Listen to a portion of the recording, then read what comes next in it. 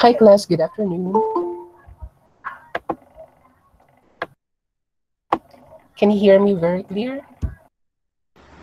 Yes, sir. Yes, sir. All right. Thank you. So, uh, how's your week?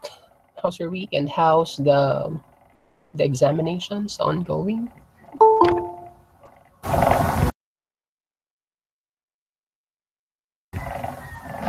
Do you still have your other exams uh, this week or next week? Probably next week. Do you still have uh, exams? Next week po. Yes, sir. Midterm na po. Ah, midterm na bilis, no? All right. So maybe hindi ko sasabayan sila. But uh, I would like to ask, how's your prelim exam in our, our operations audit? Um, do you find it very easy, average, or difficult? Difficult. Difficult po. Difficult. Right. Okay. Nakakaubos So- po. Very difficult, sir. Very difficult. So it's parang time consuming gano'n. So well anyway, that's that's okay. That's um, since first time lang naman natin yung ano, yung operations audit, 'di ba? And masasanay din kayo dyan in the future in case na may auditing theory na kayo and then auditing problem. So, uh, ganyan din yung setup ng mga exams. So, but it depends on the uh, professor kung ganun sila magpa-exam. Uh, feeling ko sanay naman na kayo dyan kay Lamang VM, di ba? Ganun din magpa-exam sila Mang VM essay. Um, yung enumeration, identification, so ganun sa kanila. But uh, I hope uh, lahat kayo nakapasa nung prelim, yung prelim exam kasi uh, hindi ko pa actually na-check. I-check ko siya pa isa-isa kasi, di ba, remember, uh, the one who has uh, the best um, prelim uh, will have a prize coming from me. So, so, check ko talaga siya pa isa, isa-isa. And then, now, uh, may questions po ba kayo from chapters 1 to 5? Do you have any questions? If you have questions, you can ask me through our group chat or you can send me a message um, privately uh, kung may hindi kayo naintindihan from chapter 1 to chapter 5. May naguguluhan kayong part, so okay lang naman. So I can coach you uh, one-on-one, I can be your mentor uh, regarding that. So para mas maintindihan. So mas okay kasi kapag na tapos natin yung buong subject, tapos naintindihan natin ng maayos. Kasi ito ay ma-apply rin natin sa susunod nyo pang subjects.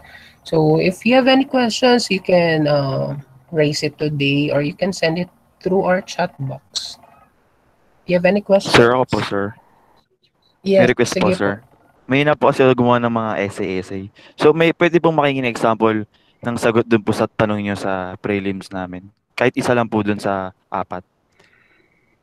Ah, all right. So, uh, actu- actually, hindi ko na ma-remember yung mga questions doon. But, yung, yung way kung paano mo siya sagutin, kasi it's an essay uh, plus a situational case. And then you have to apply uh, yung napag-aralan niyo from uh, chapters 1 to chapter 5. First is to attack the question. So, ano ba yung nature ng problem. For example, yung may isang problem doon is about doon sa financial reporting. You have to attack ano ba yung cause ng uh, problem. Bakit ba may uh, bakit may ganon? Okay, let me try to let me try to open uh, your exa- uh, prelim exam. Check ko lang ah. So para mas malinaw. Okay, loading. Loading. Alright. Christian, okay. Okay. Right, let me just check. And then, lahat ba nung questions doon mahirap? Or okay lang naman?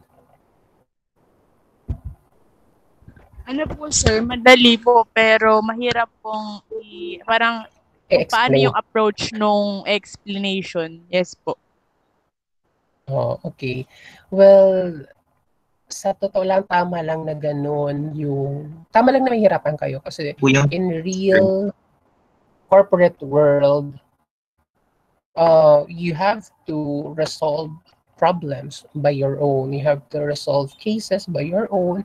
Hindi ka makakapagtanong kung kanino unless na lang may willing tumulong sa inyo. So, ganun siya. Hanapin ko lang yung ano natin, na yung exam ito. Operations, audit, and examinations preliminary. Key opening. Mhm.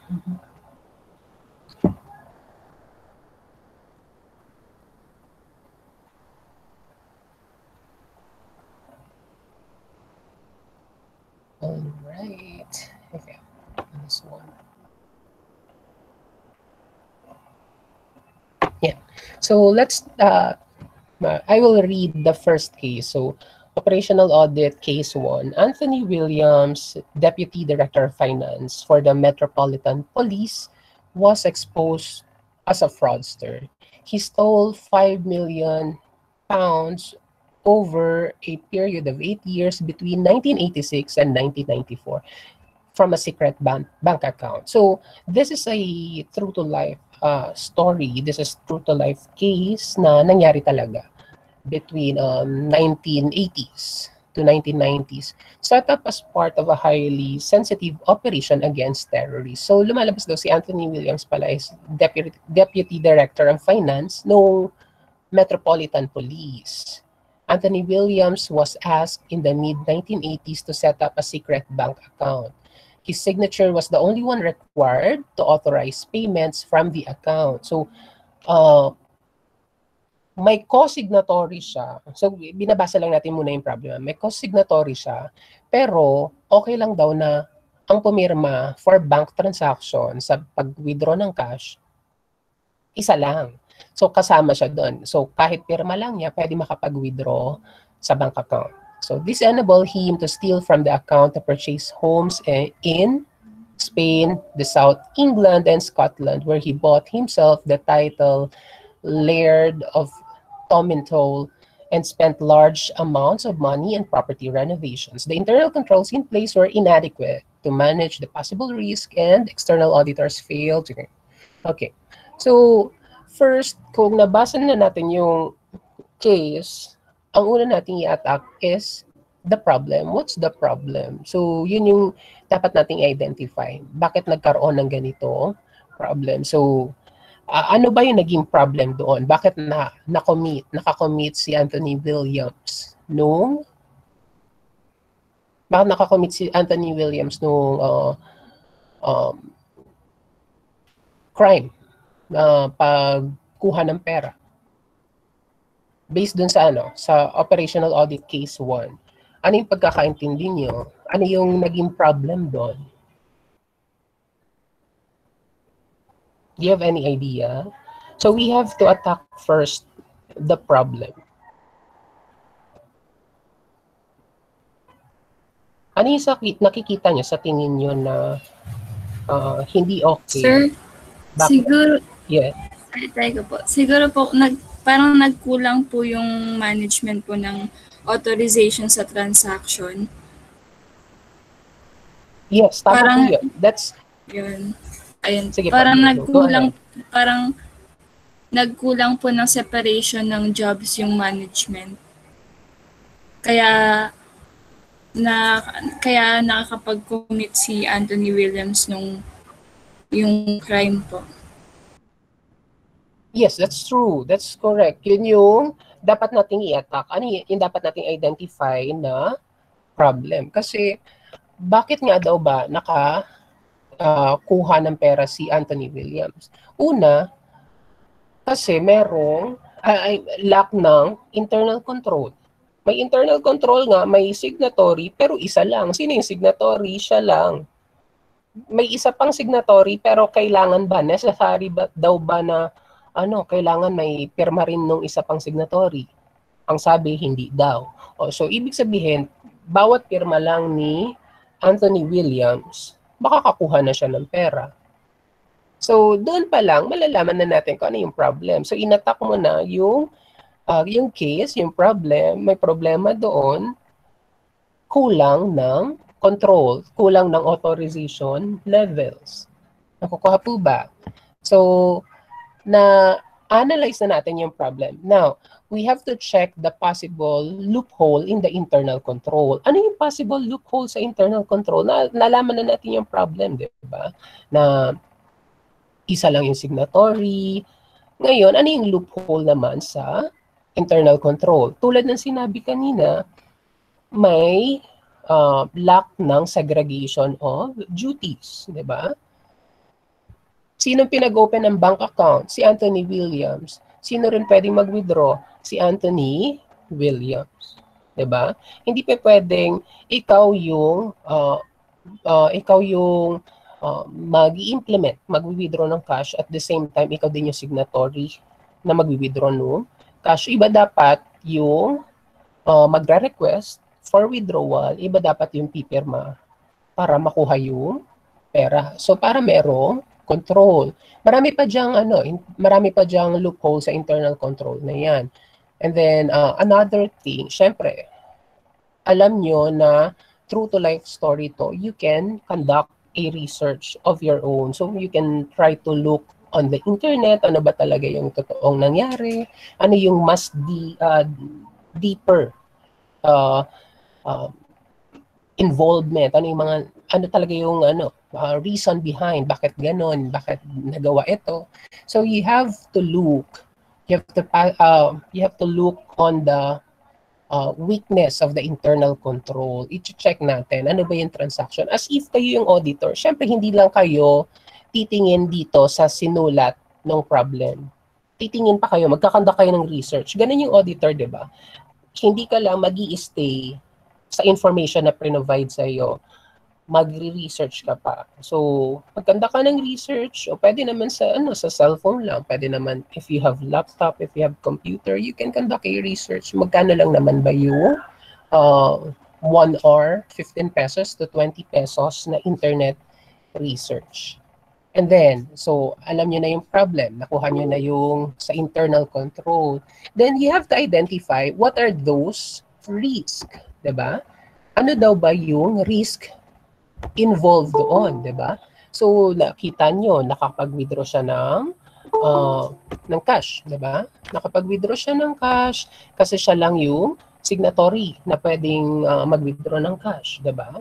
So ano yung mga risk about doon? So meron tayong ano, resource risk, 'di ba? Any other kinds of uh, business risks, 'di ba? Meron So you have to identify those risks and uh, nando naman yun doon sa libro natin. So and then you have to explain bakit yun yung risk na na ano nyo, na assess nyo. Bakit yun yung involved for that uh, particular case. Nakukuha po ba? Now, alam nyo na yung problem, alam nyo na yung loophole, weakness sa internal control, na-assess nyo na rin yung risk.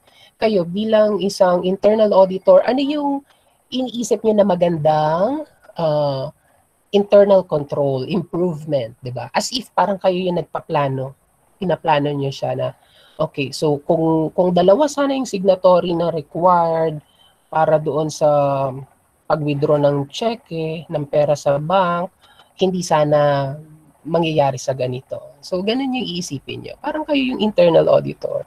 Ngayon pa lang, isipin nyo na kayo na yung internal auditor para at least uh, nai-imagine nyo kung ano yung nasa transaction. Nakukuha po ba? And then, syempre, every time na may uh, withdrawal, kailangan may request muna. Back, ano yung purpose nung, ano, nung fund withdrawal. Kailangan merong taga-record. Iba yung magre-record. Kasi sa atin, di ba, sa accounting, iba yung magre-record. Iba yung accountant. Iba din yung uh, magdi-disburse nung funds, yung finance. So iba yung accounting, iba din yung finance. 'Di ba? Although fit tayo pareho, ah, fit tayo yung mga accountants, pwede sa accounting, pwede sa finance. Pero dapat mayroong segregation of duties. So, nagigets po ba yung ganon? Nagigets po ba, class? So, parang ganun yung pag-attack dapat sa problem.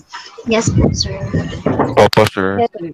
hindi, hindi nyo lang siya kailangan i-explain, hindi nyo, na mababaw lang. So, kailangan uh, i-dig, parang ang tawag dito, i-dissect yung problem as if para kayo talaga yung auditor. So, ganun lang po yun. So, next, syempre, probably sa midterm, ganyan pa rin yung ano, ganyan pa rin yung uh, series nung yung setup nung exam nyo. Pero syempre, ang coverage niya na from chapter 1 hanggang sa last chapter na mapag-aaralan natin. So yung ito pa lang, yung prelim nyo, ang application pa lang is from chapter 1 to chapter 5. So sa midterm naman, kung hanggang saan tayo matapos, edi, yun naman i-apply natin. Nakukuha po ba? So, syempre ngayon, pag-aaralan natin yung ano, flow charting. So, mag-flow chart na rin kayo. So, ma- malay nyo ba, baka isama yung flow chart, mag-create, gumawa daw kayo ng flow chart or mind map. So, ganito lang yun. So, para lang kayong auditor na kapag iniisip niyo yung problem. So, any questions? Any other questions?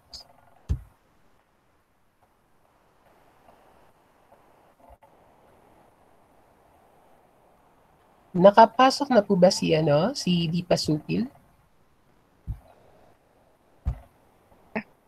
Ako po, sir. Dito na po. All right. Okay.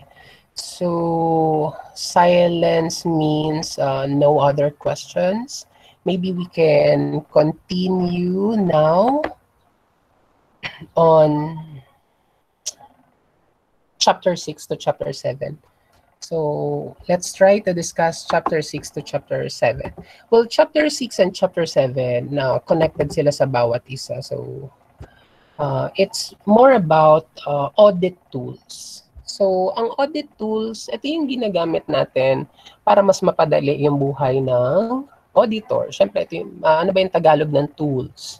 Kagamitan, di ba? Ito yung mga kagamitan na maaaring gamitin ng mga auditor para um, mas okay yung pagkandak nila ng audit. Pero, syempre, gawa muna tayo ng story. Iba kasi yung auditing tools na ginagamit noon, ng mga uh, oldies na auditors kaysa sa mga newbies, uh, youngsters na auditors ngayon. So, tayo bilang mga bata pa, 'di ba? Mga bata pa naman tayo. So, iba yung ginagamit natin na auditing tools and techniques ngayon dahil syempre meron na technology, uh, ay yung advantage ng technology. So, the audit tools. Audit tools were developed by experts in the field of statistics, econo- economics, mathematics, quality control, management, and finance to check the quality of the business. So, ibig sabihin daw, ang audit tools daw pala, hindi lang ang gumawa ay auditor. Meron ding uh, intervention ng ibang experts like mga statisticians. Siyempre, humingi rin tayo ng tulong sa statisticians kasi kailangan din natin ng statistical analysis for audit, di ba? Nagsasampling tayo, nagkakonduct tayo ng audit, sampling. And sampling is a technique used by statisticians. And uh, eventually, we are using it as well as part of our audit tools. Econo economics. So yung mga economists, uh, tumulong din sila sa pag-create ng auditing tools natin uh, ano ba yung mga ginagamit natin na ano na computations na uh, mga economists yung nag-formulate. Uh, I'm not sure kung uh, napag-aralan niyo na to, but we do have uh, economic order quantity. So, napag-aralan niyo na po ba yung economic order quantity?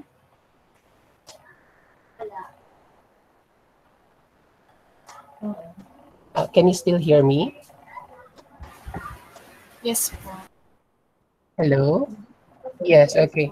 So, uh, yung economic order quantity, uh, ginagamit natin to sa inventory. Um, kapag uh, okay pa ba yung level ng inventory or kulang na, hindi tayo nag-relate niyan, kundi yung mga economists.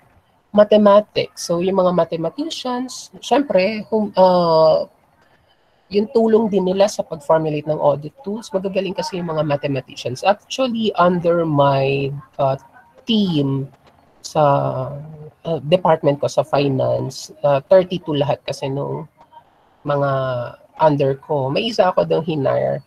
Hindi siya accountant, hindi siya CPA. Mat, uh, mathematician siya. So, mathematics graduate. Sobrang galing. Um, sa sobrang galingan niya, kaya niyang tapusin yung pinagawa ko sa kanya within 1 to 2 hours. Yung pambuong araw na pwede mong gawin bilang isang ordinaryong tao, parang 1 to 2 hours lang niya ginagawa. And then, uh, after no, natutulog na siya. So imagine niyo natutulog siya. Uh, ilang hours yung pasok? 8 hours, 6 hours, natutulog lang siya. And then, di ba, sana all. pero, pero syempre, um, okay naman, di ba? Okay naman siya. Wala akong problema sa kanya. Natapos niya yung pinagawa ko, di ba? Pag may pinagawa ko ulit, natatapos niya ulit. Marami pa siyang uh, enough time. Pero nat- natutulog lang siya. And then, syempre, hindi naman siya ethically wise. Hindi naman siya pwede dahil imagine mo yung ibang employees na work tapos siya natutulog. Although, productivity wise, okay siya. Gusto ko siya. di ba? So, okay yun. Although, syempre, maraming, maka, maraming siyang maririnig na natutulog lang siya, ganito, ganyan. So, doon nag-come up kami ng policy na bawal matulog sa office. Kaya, ayan, at least, na-prevent na lang yung pagtulog niya. Pero, magaling talaga siya. So, yung mga mathematicians, uh, nakakatulong din sila for the creation of auditing tools and techniques. And then the quality control team, management, syempre management, and then the finance team, which uh, kung saan tayo nabibilang, finance and accounting. So to check the quality of the business. As an internal auditor, we are interested in how programs and processes are designed. So, uh, bilang auditor, saan daw tayo nakafocus? Can you still hear me, class?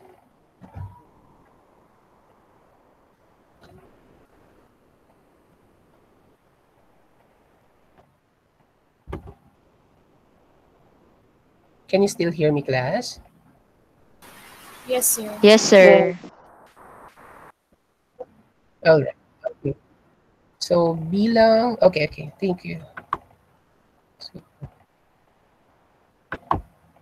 okay. So, bilang auditor, saan tayo nakafocus?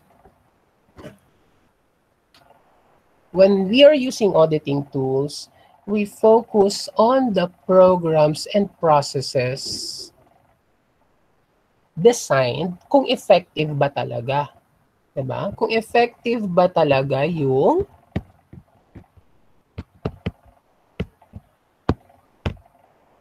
processes na yon, 'di ba? Is it effective?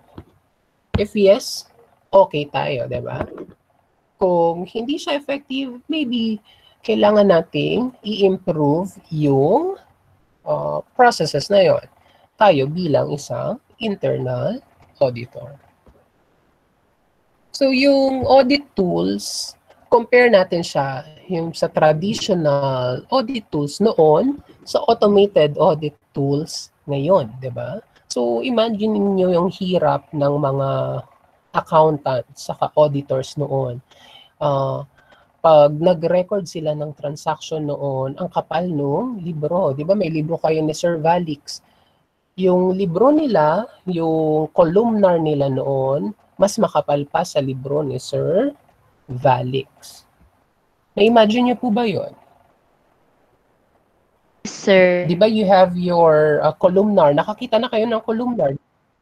Nakakita na kayo ng columnar kasi syempre accounting students kayo. Dapat nakikita nyo yon. Yung libro ni Sir Valix, kung gaano kakapal yun, hihigitan pa nung mga uh, ledger saka journal ng mga accountants saka auditors noon. 'Di ba? Ginagawa yun ng accountants and then i-audit ng mga auditors. Eh wala pa masyadong computer noon, hindi sila gumagamit ng laptop. Uh, pag nag-audit sila, as in sinusulat talaga ng auditor nagko-compute sila ng calculator nila, tinitikmarkan nila ng ballpen nila. Ganun sila gumawa yung mga auditor. So they use worksheets talaga. And then, pangalawa, they conduct walkthrough. Uh, do you have any idea what is walkthrough? Do you have any idea what is walkthrough? Di po, sir. Observations po, sir. No idea. Yes, para yung observation. So pag sinabing walkthrough, para kang nag-field trip. 'Di ba nag-field trip tayo dati sa ano, sa mga factory? Naalala niyo pa po ba 'yon ng mga kabataan natin? Field trip tayo sa factory ng ano, ng Lucky Me, ng Gardenia, ng Yakult, na, Tama po ba ako? Uma-attend po kayo noon? Yes, sir. Yes. Okay. Yes. So, for example, saan kayo, na- saan kayo nag-field trip noon? Pwede ko po ba malaman? Huwag niyo na sabihin yung Manila Zoo.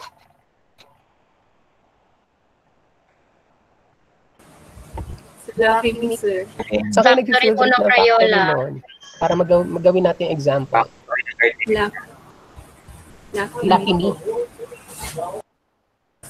Ang factory ng Crayola. Okay. So, uh, factory ng Crayola, factory ng Gardenia. Okay, so let's try muna doon sa factory ng Crayola. Pag um, factory ng Crayola sa kanong lapis, di ba, ng Mongol pencil.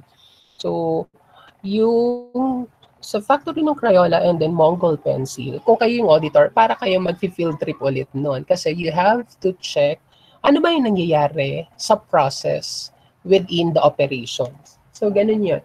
So, you're trying to get information uh, through walking around the process doon sa operations. So, saan ba nagsisimula yung Crayola? Saan nanggagaling itong mga Crayola? Ah, inaano muna nila yan. Ah, wax muna yan. Tinutunaw, clear, and then hahaluan lang ng color. And then ilalagay doon sa sa cryo molder. So yung, kaya sinabing cryo molder, pampalamig, 'di ba? Nilalamigan siya. So imo-mold siya doon para maging itsurang crayons. Para maging itsurang crayons.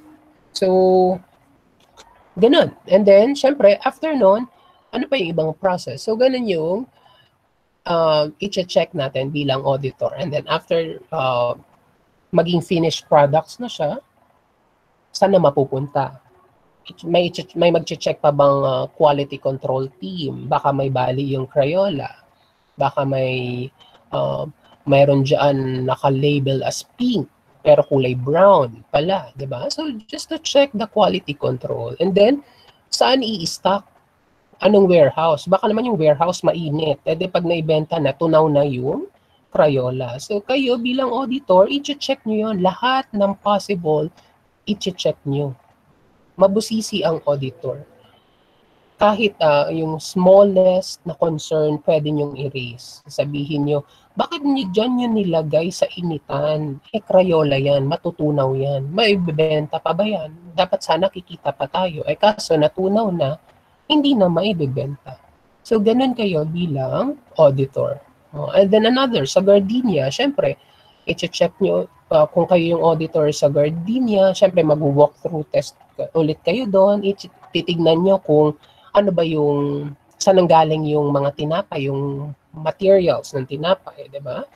Flour, milk, eggs, so paano siya hahaluin, So, ilan yung lead time para maging tinapay na siya, process time para maging tinapay, 'di ba? And then kapag binalot na, uh, was it properly sealed, Baka yung nailagay doon sa ano sa loob ng pat nung tinapay may kagat na nung factory worker. So may magche-check ba na quality control team.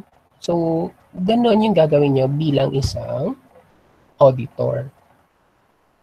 So para lang kayo nag-field trip. So, di ba gano'n naman ginagawa nyo? Or kaya lang kayo nag-field trip kasi gusto nyo lang makabili nung tinapay o kaya gusto nyo makabili ng crayons kasi mas mura pag factory price. Dagdag grade, sir. Oh, ano po? Sorry. Dahil po sa dagdag grade. Ah, pampadagdag sa grade kasi isasama daw sa exam, di ba? Tinatakot ng teacher. So, ganon. Ganon yung para tayong nag-field trip kapag tayo ay auditor. So, yung ginagawa nila doon, ang tawag doon, walkthrough test. Although now, gumagamit pa rin tayo ng walkthrough test, gumagamit tayo ng worksheet, kasi sa worksheet kasi Excel na tayo ngayon. And then, questionnaire. So, they give questionnaires. Um, dati, gumagamit sila ng pamphlet. Wala naman kasi masyadong uh, Excel pa noon, walang computer pa noon. Pero nagbibigay sila ng questionnaire, naka-print, print-out form. Bakit nila kailangan ng questionnaires? Bakit sila namimigay ng questionnaires? Para ma-identify ano yung mga possible problems within the processes, di ba? Eh tayo ngayon, pag magbigay tayo ng questionnaires, hindi na tayo pumupunta sa opisina, isesend na lang through email, gagawa na lang tayo ng Google Forms or Microsoft Forms, tapos isend na lang sa kanila through email or mag-post lang tayo ng poll questions then tapos na na, 'di ba? Within less than 10 minutes tapos na yung poll, tapos na yung questionnaires, 'di ba? And then ginagamit pa nila is sampling. So nagsa-sampling din sila, audit sampling. Uh, do you have any idea what is audit sampling? Narinig na po ba yung sampling? May statistics po ba kayo? Opo, sir. Yes, okay. So sa sampling, parang pag sinabing sampling, you are getting a samples that will represent the whole population. So imagine niyo ito yung uh, i-audit nyo. Nakikita niyo po ba yung bilog na drinowing ko? Yes, sir. Alright. So, it, so itong bilog na drawing ko, it represents the whole population or the whole um, the totality of the I mean the transactions that you need to audited, diba? Uh, to be audited.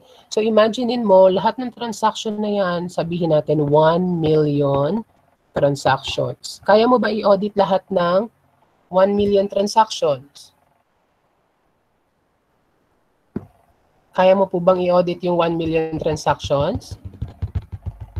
No. No.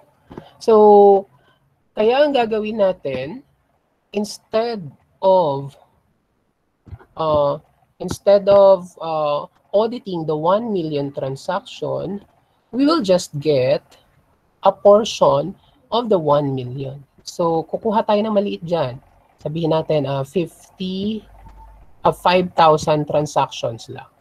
So, that 5,000 transaction uh, represents the whole population. So, ang tawag doon, sample. Diba? So, sample yon. Kaya doon natin nakuha yung sampling techniques. So, yung 5,000 transaction na yon, lahat na makita mo doon, nire-represent daw niya yung 1 million. Kaya meron pa rin tinatawag na error. So, error, kasi hindi ibig sabihin na yung 5,000, nire-represent niya talaga ng totoo yung 1 million.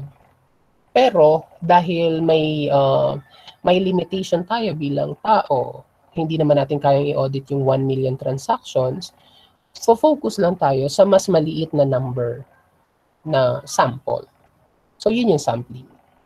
And then isa pa sa paper, sa traditional auditing tools, uh, paper evaluated lahat ng uh, audits nila kasi nakuha nila sa papel, inaudit nila gamit ang papel, evaluate nila gamit ulit yung paper. So, paper evaluated lahat ng audit nila. Unlike sa automated, we are using now computer-assisted auditing tools and techniques. So, yun yung ginagamit natin ngayon. Lahat ng may, lahat ng auditors ngayon, gumagamit na ng computer, laptop. So, bibihira ang auditor na hindi gumagamit ng laptop kasi kailangan, kailangan natin yun. Kaya, lahat ng audit softwares um, assisted by computers, di ba? And then, we have embedded audit modules and then integrated test facility. So, ano yung integrated test facility naman? Yung integrated test facility, uh, nagpa-parallel test sila. So, merong actual procedure, may actual process, diba? So, so sulat ko dito. Merong actual process. Okay. Actual process. Ay, sorry. Yan. Actual process. And then merong dummy process. Yung dummy process, ginawa lang nila yon dummy process. Yung actual process, ito yung process talaga na totoo na nandoon sa operation. Kukuha sila ng sample process sa actual process and then magre-recreate sila using a dummy process. I-check nila kung yung lalabas sa actual process kapareho sa dummy process. Kung pareho yung lumabas, ibig sabihin, maganda yung internal control na ini-implement doon sa process ng operation. So yun yung ginagawa. Ginagawa sa integrated test facility. Any question regarding uh, the overview of the audit tools between traditional and then automated? May question po ba? Can you still hear me?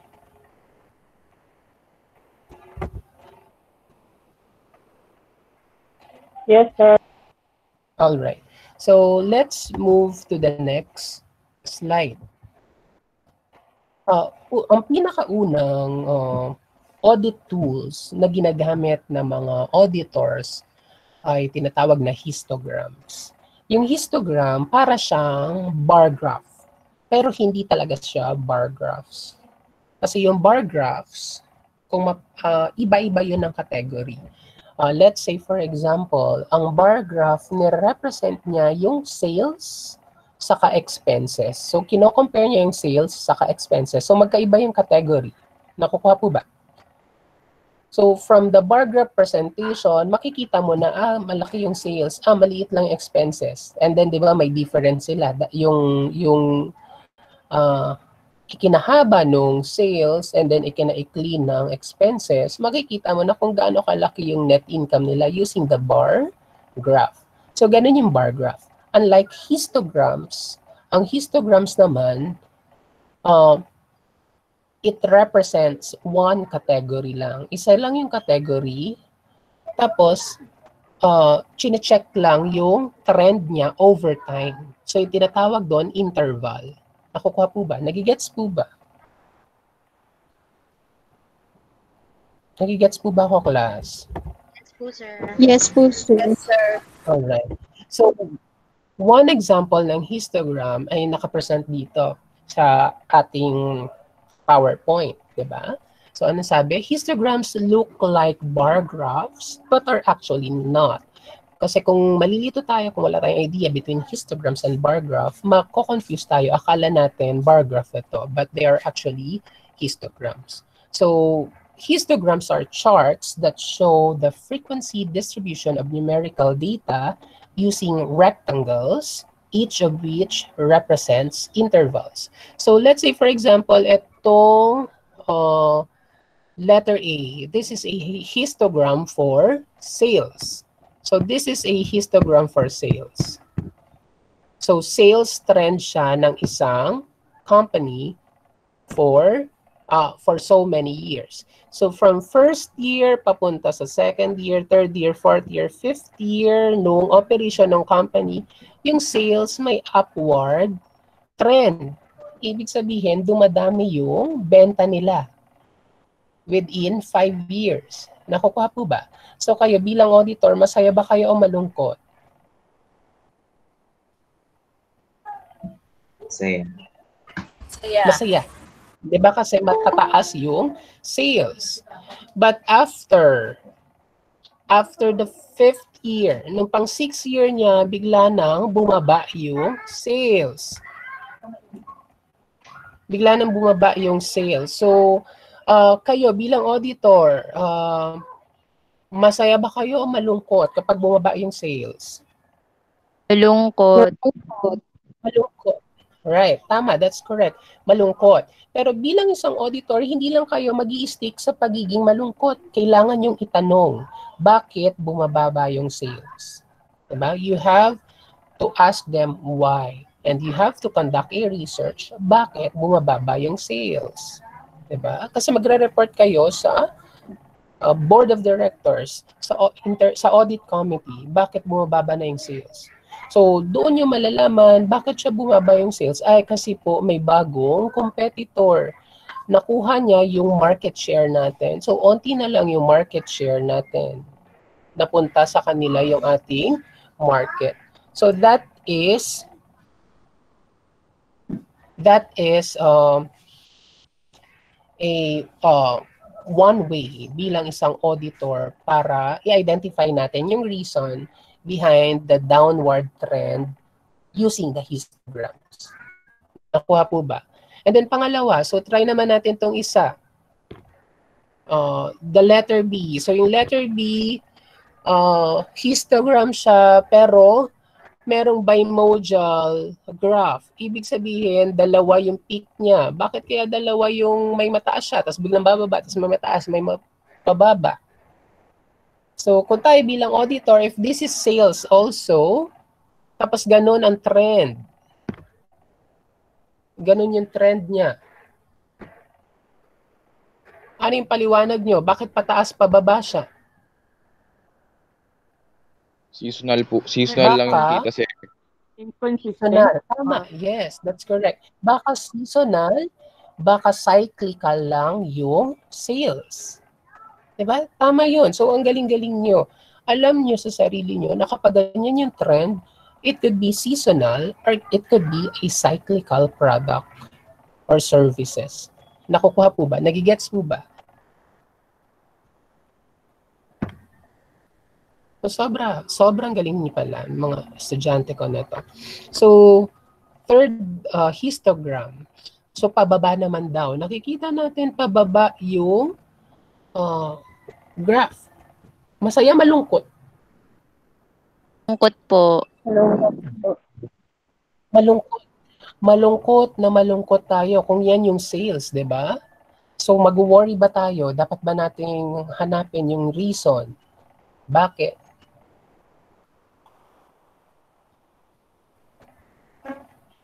Kailangan ba natin hanapin yung reason? Bakit? Yes po. Sir. Yes, kailangan natin hanapin. Kasi kung hindi natin siya hahanapin, oh, mawawala na tayo ng trabaho. Kasi palubog na. Oh. Tingnan mo, yung pinakadulo, onting-onti na lang. Doon na siya sa linya. Ibig sabihin, magzi-zero na yung sales mo. So, ganyan yung nangyari kay Nokia. So, yung sales ni Nokia noon, dati nung ah, siya yung tinitingala ng lahat ng cellphone manufacturers, kasi siya yung pinakamabenta. And then suddenly, bilang bumagsak, kasi hindi sila sumunod sa changing customers' needs. Ang gusto ng mga customers ngayon, yung touchscreen, di ba? Eh, hindi sila sumunod. Akala nila, tatangkilikin pa din yung kanilang products. Nakipad-kipad, di ba? So, until such time, bumaba yung sales nila at hindi na nila kinaya. Nakukuha po ba? And then, let's try naman itong isa. Letter E. Constant lang yung sales. Kung ah, kung relax lang tayo na company, okay lang to sa atin. But if we want more bilang isang company, gusto natin maging kilalang company all over the world, hindi lang tayo magsisettle for this uh, trend. Gusto natin maganda yung ating sales uh, trend. Hindi lang siya pantay, hindi lang siya stagnant. Nakuha po ba? And then letter F, halo-halo yung may mataas, may mababa. So what does it mean? Ito yung letter F. Bakit ganyan yung ano, uh, histograms niya? We're just uh, talking about sales, histogram ng sales. Ano kayong reason? Bakit ganyan? Pwedeng gawa ng kwento. Do you have any idea?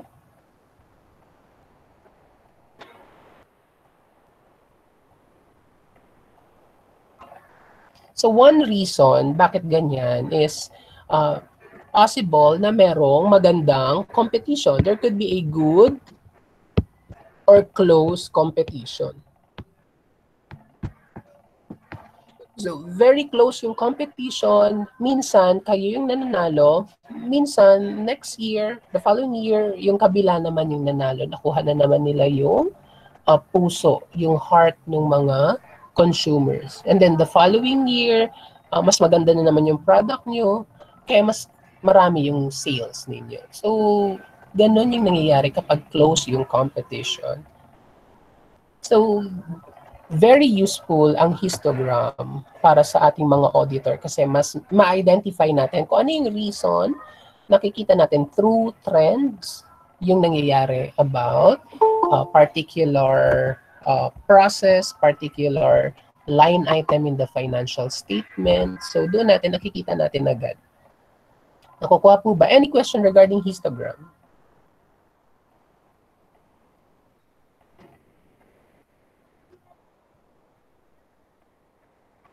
Any question, class? I think uh, silence means none. Okay, so let's move on to the next slide. The next uh, audit tools that we can use is the control chart. So pag sinabing control chart, uh, these are charts that show the strengths and weaknesses of control. So it shows strengths and weaknesses of controls that is being set in place. So, kung mapapansin nyo, lahat ng mga square boxes dyan, doon sa graph, that represents uh, control points. Ito yung mga controls na nasa uh, process, within the process. Kung ang control point na yan is within the line, the center line, nakikita po ba yung center line sa gitna? That is what you call the control limit. Kapag nasa within the control limit, ibig sabihin, effective yung uh, internal control mo, yung iyong control procedures. But if it falls below the control limit, nasa baba siya. Makikita nyo siya dito, nandito siya sa ano, yung control point. Ibig sabihin, yung control lim uh, wala na siya sa control limit. Nasa lower control limit na siya. Baka hindi maganda yung control process na ini-implement nyo. Nakukuha po ba? And then kapag yung control limit naman is nasa taas, baka ideal yung control limit. Mukha siyang maganda. Pero sa sobrang ideal niya, baka naman nadi-discourage na yung mga employees. Kasi sobrang higpit, sobrang higpit naman dito sa department namin. Uh, bawat kilos documented. Uh, bawat alis, bawat labas documented. Nakukuha po ba? So, I have this experience nung kagagraduate ko lang nung college. Uh, nakapag-work ako sa isang Japanese company. Can you can you still hear me, class? Yes, sir. Yes, sir. Okay, sige, sige. Thank you. Because uh, I think it's raining now, but uh, mahina lang naman. Pero, yun. So, I have this exp- working experience with a Japanese company. Dito rin siya sa Philippines, but the owner is a Japanese company and the operation is in Japan. Pero, pag lumabas kami, ano, nagsusuot kami ng GPS. Imagine mo. Uh, pag pumasok kami sa work and when every time uh, we go out, we need to go outside, kailangan pupunta, pag pupunta kami sa SSS, pag-ibig, PhilHealth, na meron kaming uh, sikasuhin uh, sa bank, may susuotin kaming GPS. Yung GPS nun para siyang itsurang um, yung yung ano, yung bala ng ng camera before, yung bilog, ganun siya. So, uh, that uh, will uh, help the company to trace kung saan kami nagpupunta. So, ganun yung uh, setup noon sa dati kong pinasukan. So, napansin ko, mataas yung employee turnover nung uh, company. Ibig sabihin, mabilis umalis yung mga tao. And one reason behind that, eh, pinapasuot kasi sila ng GPS kasi parang lumalabas, parang lahat na lang daw ng kilos nila binabantayan. So, kung mapapansin nyo, kung ganon, yung control na yon, kung gagawa tayo ng control chart, nasa upper control limit yon. And then, kailangan natin din i-address yon. Kasi, mapapansin nyo doon, ay bakit ano, bakit ang bilis umalis ng mga tao nyo dito na empleyado nyo. And one reason is baka yung control na yon na ini-implement sa business processes. So, yun yung uh, purpose ng control chart. Actually, maganda yung uh, control chart kasi na-identify natin ano yung mga controls na may weaker points, ano naman yung mga controls na may mga strong points. Diba? Nakuha niyo po ba? And then, yung mga nasa upper control limit, ito yung mga controls na may mga uh, good points or ideal points. Pero dapat i-assess pa rin natin kasi minsan sa sobrang ideal ng control points na yon, baka hindi na siya maganda naman sa side ng employee. And then, yung mga nasa lower control limit, ito naman yung dapat nating i-address, baka kailangan i-improve. Nakukuha po ba? Nagigets po ba? Nagigets po ba, class? Opo, sir. Yes, yes, sir. Yes, okay. And then yung control charts, maraming klase ng control charts. So, una dyan, we have what we call X-bar control chart. So, pag X-bar control chart, ano siya, uh, lahat ng mga control points uh, na lumayo sa control limit. Let's say, for example, ito, yung dito sa baba. Lahat ng mga yan na nasa um, baba, kailangan uh, i-identify yung reason why is it uh, why it falls below the control limit. Bakit siya hindi okay? So yun yung, ganun yung uh, kung paano mo i-address or i-analyze kapag X-bar control chart. And then meron naman tayong tinatawag na range control chart. So yung range control chart naman, yung differences between uh, two control points, meron silang, ang tinatawag doon is the range. So we have to address as well, bakit ang layo no uh, range no dalawang control points. Bakit yung isa nasa upper control limit, yung isa it falls below the control limit. So, yun naman yung sa range control chart. And then sa standard deviation control chart naman, so dito, ito-check natin yung deviation. And then attribute control charts naman, uh, we are just checking the attributes. So, ano yung mga example ng attributes uh, sa pag-implement ng control. So, one example is um, when we are looking for a sales invoice. Pag tumingin tayo sa sales invoice, ano yung mga nakikita natin?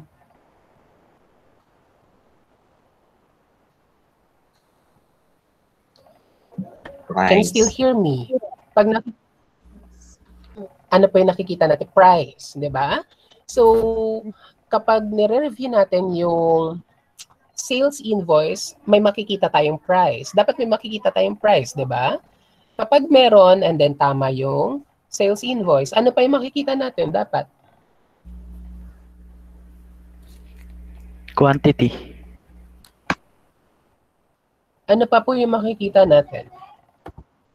Quantity, yes. Siyempre, sa, kailangan may quantity na naka-appear doon sa sales invoice. Kapag may naka-appear dun sa sales invoice na quantity, then ibig sabihin, okay yung sales invoice. Ano pa po ba? Ano pa yung mga alam nyo na nakikita natin sa sales invoice? Date. Dapat ba may date yung sales invoice? Yes. Yes, sir. Dapat po ba may date? Yes. May pangalan po ba ng customer? Dapat po ba may pangalan? Yes. Tsaka po description. Yes. Dapat po ba may address ng customer? Dapat may... Yes.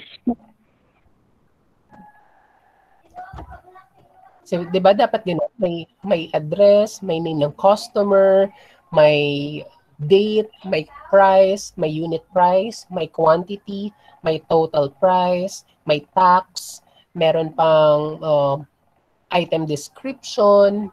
Nakukuha po ba? Ngayon, kung ganun yung mga required uh, fields na dapat ilagay doon sa uh, sales invoice, kailangan lahat ng invoice may ganun. Nakukuha po ba? Ngayon, kung walang, kung may isa na sales invoice na wala, kulang, then it falls below the control limit. So, ibig sabihin, hindi perfect yung internal control na in-implement sa pag-i-invoice ng sales invoice. Nakuha po ba? And then we also have pass or not pass control chart. So, syempre, sa control chart, uh, may identify tayong control points. So, let's say, for example, itong una, it passed the control uh, control limit. The second one, it passed the control limit. Third one, it passed the control limit. Fourth one, it passed the control limit. The fifth one, it does not pass the control limit because it falls below the control limit. Not passed. So, ganun lang yun. Yun yung pass and not pass control chart.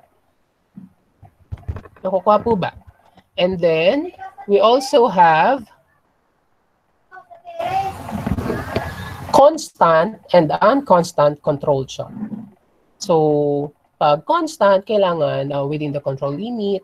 Kapag unconstant, it uh, either falls below or above the control limit. And then we have pre-control charts. Pag sinabing pre-control charts, um, meron silang parang line na tinatawag. So let's say for example, dito yung line dito sa control limit na to, lahat ng nandito, papalitan ko yung ano, color. Okay, yan. This color blue. So lahat ng ko lahat ng control points na pumasok within this area, ibig sabihin, okay pa yung control points na yon. Pero kapag lumagpas sila within the blue color, pumunta sila dito sa yellow, yellow shaded na color, ibig sabihin, uh, may warning. Okay pa yung control, pero dapat may warning na. Ibig sabihin, pwedeng magkaroon ng problema. So, ganun yung sa pre-control chart. And then, last one, kapag sumobra na siya sa color yellow, kasi yung color blue, good, good control. Yellow, still good, but there is a warning. And then, napunta na siya sa color red. Color red na area. Ibig sabihin, hindi maganda yung control na naka-implement for that process. So that is how uh, pre-control charts is being used pagdating sa assessment ng internal control. Any question regarding control charts? Class.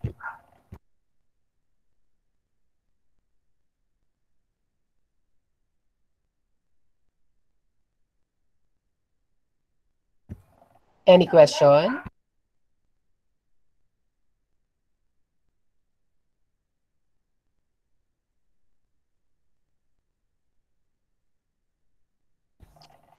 Can you still hear me, class? Yes. Yes po.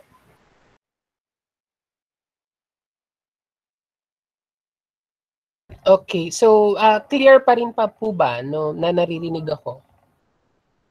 O baka choppy, Yes, sir. ba ako? Hindi po.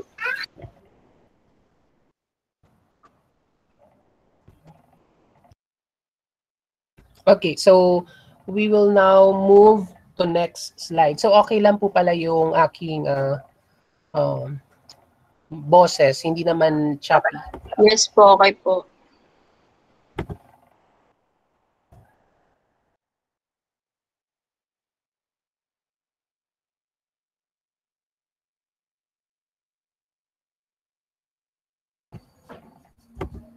Okay, so the next one is the Pareto chart. Narinig niyo na po ba yung Pareto chart? Do you have any idea what is Pareto chart or Pareto rule? No, sir. Ngayon ko pa lang, sir, narinig. Ay, okay, sorry. Okay, ngayon pala. Okay, yung Pareto chart or Pareto rule, ginagamit ko sa management. Um, pag sinabing Pareto chart, syempre ang gumawa si Sir Pareto. And then, uh, the Pareto rule or Pareto chart, uh, yung standard niya is 80 to 20 rule. 80 to 20 rule. Kailangan daw nakafocus tayo sa 80% ng problem rather than the 20% of the problem. So, lahat ng problems that will compose of 80%, at least 80%, kailangan i-address natin properly. So, let's say for example, let's say for example, here in this, um, um, what do you call this? This presentation, uh, product A. So, sa product A daw, si, um, bumababa daw yung sales. So tayo bilang isang internal auditor, we have to identify bakit ba bumababa yung sales ng product A. So we conduct a survey for the customer concerns. Kaya mapapansin niya, 'di ba?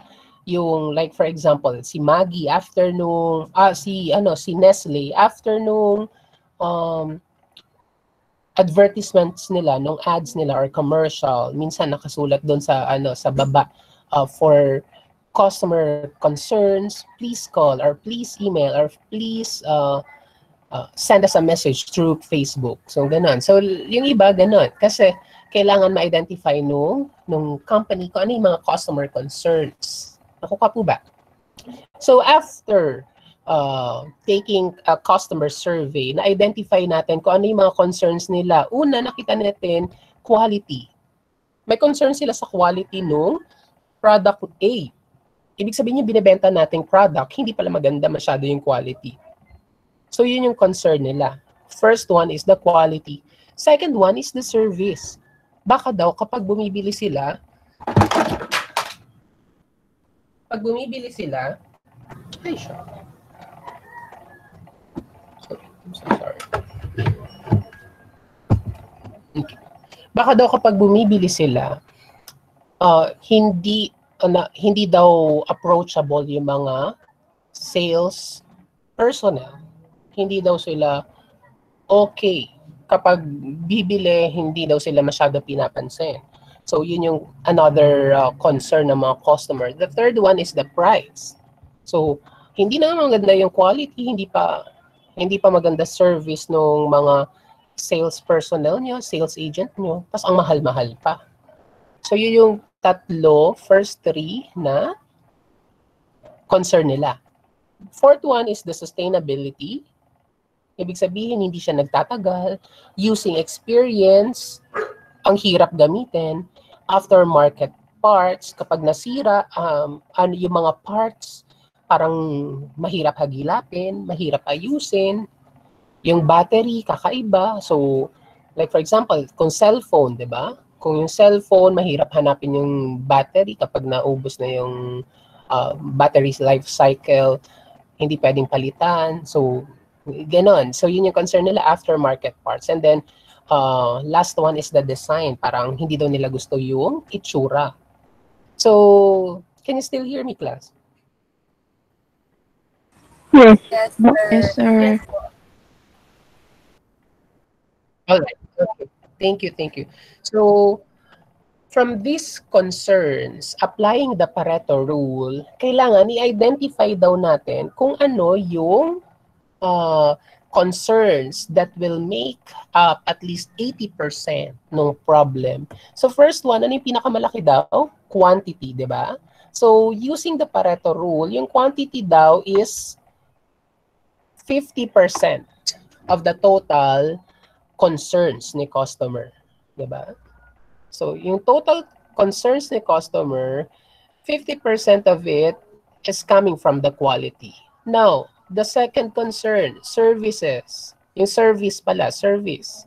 So, yung service plus the quality, it will add up to 70% of the total problem. And then, adding the concerns for price. So, it will add up up to 80% of the total customer concerns. So, lumalabas, itong first three customer concerns represents 80% of the total customers concerns. So, ibig sabihin, ito yung dapat nilang bigyan ng atensyon ng company. Na, nakukuha po ba? So, kayo bilang auditor, na iparating niyo na sa company na ah, ito yung ano, ito yung 80% nung uh, total customer concerns. And then yung remaining 20%, uh, bibigyan pa rin natin ng pansin, pero for later na lang. Kasi hindi naman siya yung major concern ng customer. Kasi itong 80% na to, lumalabas, ito yung makaka-apekto ng sales. Kung gaganda yung quality, gaganda yung service, gaganda yung uh, magiging competitive yung price, baka tumaas yung sales volume ng product A. Nakukuha po ba? Nagigets po ba class? Yes, sir. Yes, sir. Alright, so medyo okay na po ba sa inyo kung ano yung Pareto chart?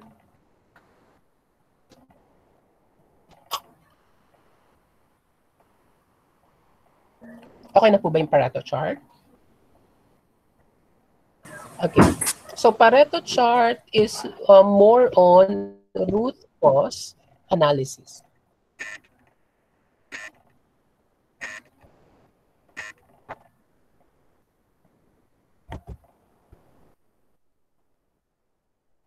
All right. Can you still hear me? Yes, sir. Can you still hear me, class? Yes, sir. Yes, sir. Okay. Okay, thank you. So let's move to the next slide. So the third um, audit tools that uh, auditors are using is the fishbone diagram. So pag sinabing fishbone diagram, para kasi siyang uh, tinik ng isda. Kaya tinawag siyang fishbone diagram. So kung mapapansin niyo dito sa uh, sa presentation, meron tayong line sa gitna that represents the problem or the defect. And then meron tayo mga lines sa gilid, 'di ba? Parang katulad nung tinik ng isda. So this is what we call the fishbone diagram. So the line at the center is the problem or the defect that we are going to address. And then the um, perpendicular lines at the top and at the bottom uh, represents the causes. Uh, what causes those problems? Uh, the problem na nandun sa gitna. Nakuha po ba? So hahanapin natin saan nanggagaling yung problem. So we have what we call, uh, we have for example, personnel. So sa personnel, ano yung mga problema? Ano yung mga uh, nakaka-contribute doon sa problem, sa defect? So una, nakita nila, training, hindi daw properly trained yung personnel. Yung operators hindi magagaling, lagi nagkakamali. Kaya lumalabas din na product may defect. Diba? Yung shift, shifting ng mga personnel, ah, dapat tatlo yung shift kasi 24 hours pero dinadalawa lang yung shift. E then napapagod din yung mga tao. Ah, inaantok, 'di ba? So imbis na maluto na maayos yung isang product na nasusunog. So ganun. Nakukuha po ba? Materials. So i-check din natin kung ano yung meron sa materials. Lubricants, kulang ng lubricants. Kaya pag dumaan doon sa makina, dumidikit siya doon sa loob ng machine, nasisira. Imbis na ah, maging okay, maging smooth, ba? Suppliers. Ang suppliers na meron tayo, sabihin natin, ah, dahil may pandemic, nagsarado. So wala na tayong ibang supplier, kulang yung naisusupply. Wapo ba? So ganun lang yun.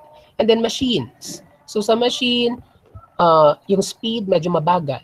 'Di ba? Minsan sobra sa speed. Yung mga pangkat, yung bladeware, kung halimbawa sabihin natin libro. Kung libro yung mina-manufacture, ah, check natin yung machine, yung blades ng machine, ng panghiwa, hindi na maganda, hindi na matalas. Kaya kapag hiniwa yung libro, imbis na pantay-pantay ang pagkahiwa, bungi-bungi yung libro. Para siyang ano, ang tawag doon, para siyang dictionary, yung may mga bungi sa gilid, di ba? Pero hindi naman siya dictionary yung libro na yon, yung ginawa. Para normal na textbook lang siya. So, these are the problems that we can address using the fishbone diagram. Parang dinadissect natin kung ano yung mga cause nung errors, ng mistakes, ng defect. So, fishbone diagram uh, is also a root cause analysis tool natin. Do you have any question regarding fishbone diagram?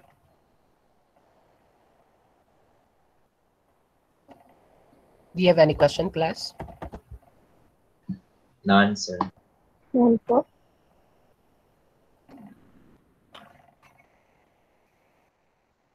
None. Okay. All right. So uh, before we go on to the next slide, so fishbone diagram, also known as cause and effect diagram or Ishikawa diagram. It is a great tool of identifying the root cause of an issue. So the next slide, for the next slide, oh, we have what we call the force field analysis. So the force field analysis is a useful tool to resolve conflict, conflicting opinions, comparing pros and cons, and to evaluate the strength and weaknesses of a product or project. So maganda rin itong force field analysis na to kasi chine-check natin kung ano yung mga strengths and weaknesses ng particular process. So let's say for example, yung isang company may plano siyang mag-upgrade ng bagong uh, machinery, uh, manufacturing machinery. So may plano yung company mag-upgrade ng manufacturing machinery. Kaso, may naririnig sa ibang side ng management, okay sila. O sige, bumili tayo ng bagong machinery. Pero namang ibang members ng management ay wag na. Okay pa yung machine na meron tayo.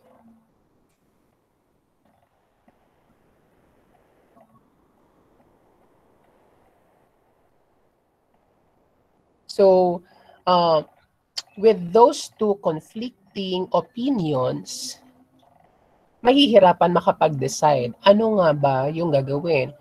Uh, bibili ng machine, ng bagong machine, o hindi na muna bibili ng bagong machine.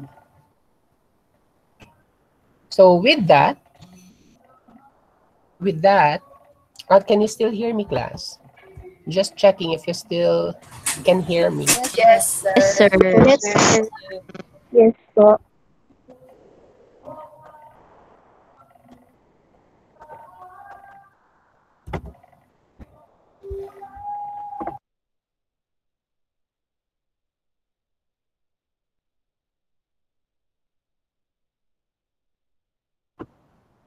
All right, okay.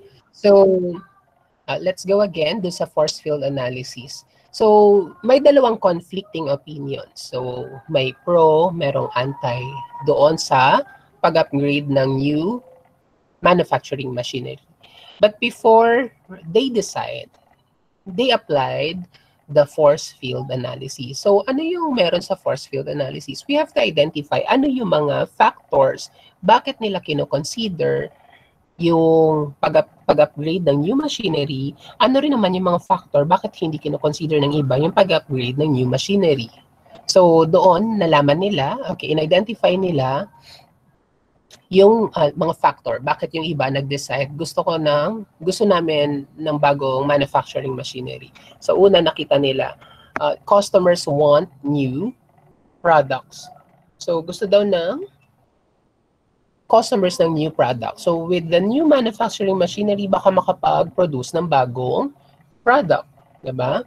Ikalawa, may improved speed sa production. So, tama naman kasi kapag may bago kang machinery, mas mabilis yung pag-produce ng products, nung units, di ba? Ikatlo,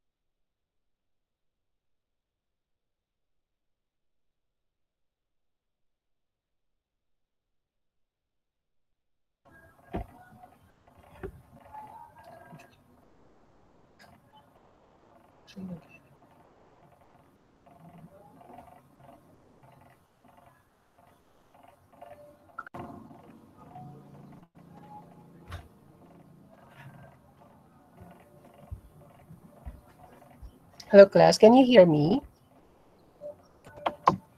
Yes, sir. Alright. So, okay. Uh, saan tayo nahinto? Tuloy-tuloy lang yung uh, sab salita ko. Hindi ko yata na na-check kung saan tayo.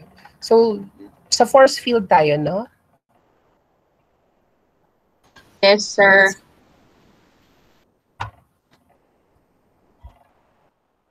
Okay. So sa force field, ulitin ko lang yung sa force field.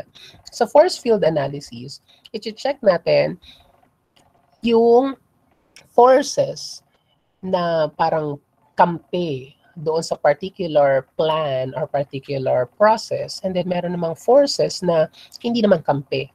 Let's say for example, ito, may plan to upgrade factory with new manufacturing machinery. Mag-upgrade daw ng factory through acquisition of new manufacturing machinery.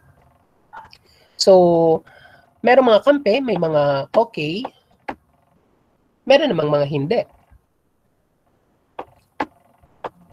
So, yung mga kampe, kailangan alamin natin kung ano yung uh, dahilan, bakit sila okay sa pag-upgrade ng factory. Sabi nila, uh, yung ibang customer kasi gusto ng bagong product. So, kapag may bagong machinery, baka okay, baka makapag-produce tayo ng bagong products. And then, ikalawa, uh, kapag may bagong machinery, mas mabilis yung production. And then ikatlo, kapag may bagong machinery, mas marami yung mapoproduce. And then ikaapat, kapag may bagong machinery, onti lang yung cost. Unlike doon sa sa old machinery, mas mataas yung maintenance cost. And then, so na-identify na natin yung mga ano, mga reasons ng mga kampe. Yung mga reasons naman ng hindi kampe, ano yung dahilan nila? Loss of overtime. Stop overtime. Sabi nila, kapag may bagong machinery, uh, mas mabilis na yung production, edi yung mga tao hindi na mag-overtime. Malulungkot sila. Onti na lang yung dagdag na pera nila. Maliit na nga lang pasweldo natin. Wala pa silang overtime. So yun yung ano nila, reason nila. Ikalawa, staff frightened of new technology. Since bago yung technology, bago yung machine, eh, takot yung mga tao gamitin yun. Baka hindi nila alam. Ikatlo, environmental impact ng new technology. Baka kasi uh, hindi pa yon pag may bagong technology, baka hindi compliance with the existing environmental laws. Baka baka magkaroon ng problema. So yun iniisip nila. Ikatlo, ay ikaapat, cost. Kung bibili tayo ng bagong machinery, magastos yan. Kasi bibili tayo. It's a one-time purchase. One-time big purchase. Diba? Unlike yung maintenance cost, uh, tuloy-tuloy nga yung maintenance cost, pero paunti-unti lang. Diba?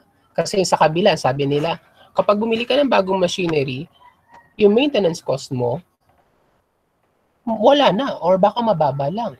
Unlike kapag niretain mo yung old manufacturing machinery, may maintenance cost ka. Mahal yon in the long in the long run. And then uh, last one, you know, reason ng mga against disruption. Siyempre kapag may bagong machinery, hindi pa alam kung paano gamitin, kung gagam, uh, kung paano siya gamitin ng maayos. E magkakaroon ng hamper sa production, disruption sa production. Hindi makakaproduce ng maayos. Nakuha po ba? So, na-identify na natin kung ano yung mga forces na kampe, pro for that plan, and then forces that go against the plan to upgrade. Ngayon, i-identify natin kung gaano kabigat naman yung uh, mga factors na ito. Kung gaano kabigat siya. So, from the forces for change, yung total daw is 10. And then for the forces against change, total daw is 11. So, ibig sabihin, kanino yung mas malaki? Yung pro or yung anti?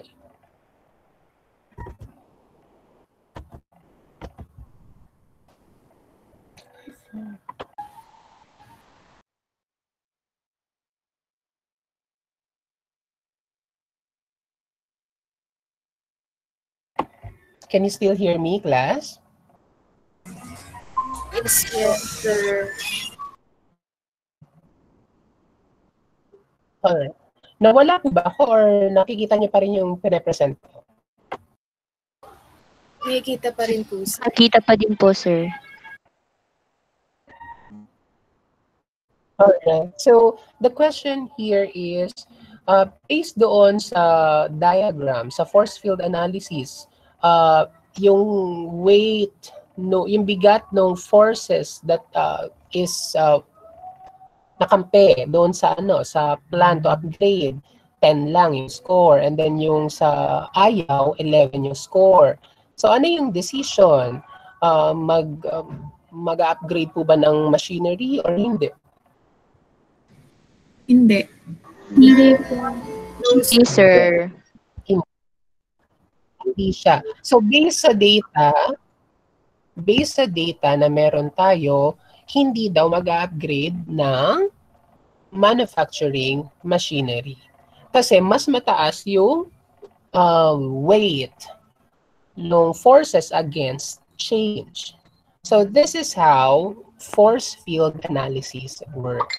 So mas maganda ito. So kapag kayo mga magkakaibigan, friends, classmates, o meron kayong conflict, conflicting uh, views and opinions, o try nyo i-apply yung force field analysis. So, with that, merong process. So, mas maganda rin to kapag, ano, kapag naging auditor kayo or CPA na, so you can apply force field analysis when you're conducting an internal control uh, assessment. So, let's try to go to the next slide. Um, another audit tool is what we call flowchart. So yung flowchart, alam niyo naman na to, yung flowchart, 'di ba, yung pinapagamit ito, pinapatry ito sa inyo ni Ma'am Macrina, 'di ba? Or ng ibang professors ninyo. Yes, sir. Yes. So flowchart kasi, it is a diagram that represents workflow of process. So lumalabas yung flowchart, it gives you visualization of how the documents flow. 'di ba? So ito yung, for example, this is the document, it flows through this way. It flows through this way. So, ganito yung uh, pag-flow ng production. And then, there are diamonds. These are uh, decisions. Lahat ng mga diamonds na nakikita niyo dyan, decisions yan. So, i-stop muna kayo dyan, and then you have to decide uh, yes or no. Kapag yes, tutuloy ka sa isang process. No, babalik ka ulit or may isa ka na namang process na susundin. So, this is how flowcharts uh, uh, is flowchart is very useful tool in uh, conducting an internal audit kasi ma, na, na-visualize natin kung paano yung takbo ng process. So, tinatawag nila to minsan na, ano, na workflow or process flow, yung iba naman na concept map, yung iba mind map. So, this is how a flowchart uh, can be used uh, as a helpful tool in internal audit. So next, uh, eight areas of waste. So yung eight areas of waste, na-discuss ko sa chapter 6, na-discuss din siya sa chapter 7. Pero i-discuss ko na siya as one time. So para ma-discuss na natin pareho yung chapter 6 saka chapter 7. So dati kasi yung mga manufacturers, mga companies, syempre noon ng industrial revolution, nagpo-produce sila ng mga products that has um, waste. So, nag, para makagawa ng isang product noon, may lalabas na related waste. So, syempre, noon hindi pa siya masyadong uh, binibigyan ng pansin kasi um, hindi pa masyadong madumi yung earth. Pero ngayon kasi, uh, kailangan nating panatilihing malinis yung Earth dahil ito lang naman yung ano, living planet kung saan tayo pwedeng mabuhay. Wala naman tayo nakitang ibang living planet na may tao. So, kailangan i-maintain natin ito. So, doon nagkaroon ng idea how to reduce waste. So, una, uh, there are eight areas of waste. So, una, are there any defects? May defect po ba?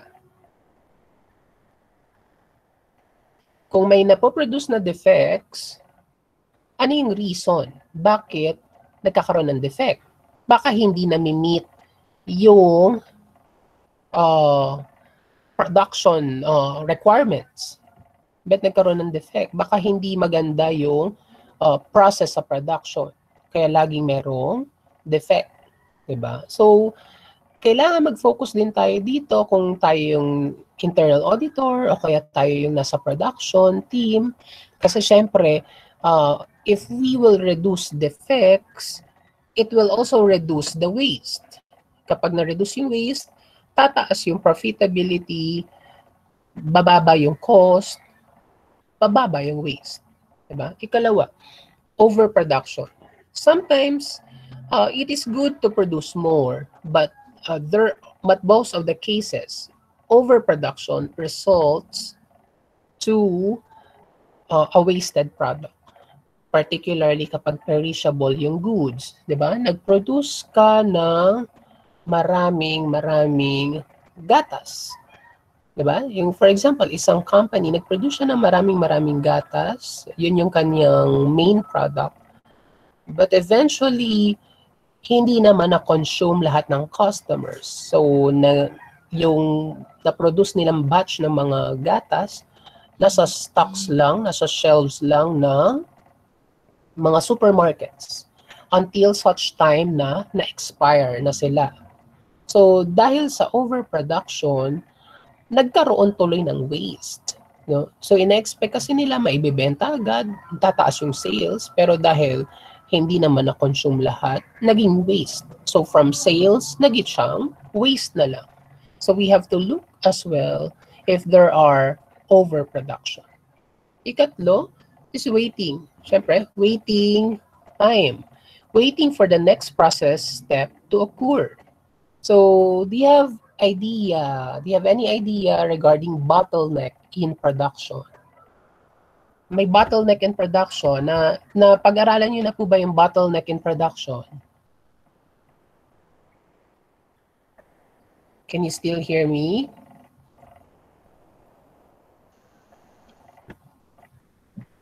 Yung kapag madami po masyadong product, stock na lang po siya sa production, po ito flow outwards. Kaya natakaw po ng bag. Yes, that's correct. So, bottleneck. So, mag-ano ka, mag-drawing ako ha. Bottleneck production. Alam niyo itsura ng bote, di ba? Alam niyo yung itsura ng bote? Bottle. So, drawing ako ng bottle na pahiga. Drawing ko ng bottle na pahiga. Ah. Ito yung bote, kasi ito yung neck no bottle. Di ba? So, yung bottleneck, ito yung tinatawag na bottleneck, di ba? uh, dinedescribe natin yung production as a bottleneck, na may bottleneck kasi initially, nakakapag-produce yung first department ng uh, 100,000 units ng uh, ah, ng product. So nakakapag-produce ano yan, kapag produce originally ng 100,000 units ng product. Pero pagdating sa second department, yung 100,000 na napoproduce, 20,000 lang yung kaya nilang i-process for the next department. So, nagkakaroon ng bottleneck in the production. So, kasi dito, 100,000 yung na-produce, pero pag, isin, pag ipinasok na sa second department, ang kaya lang nilang i-process, 20,000. So, merong 80,000 na nakahintay lang, nakaabang. Diba?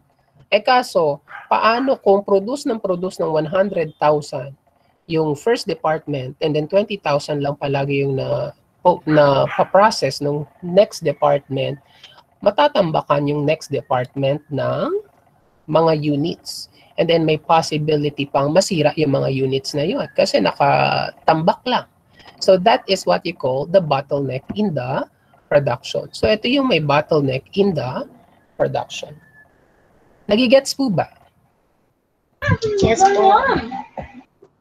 Alright. Okay. So let me erase this again kasi ang na. Okay. Okay. Yeah, that one.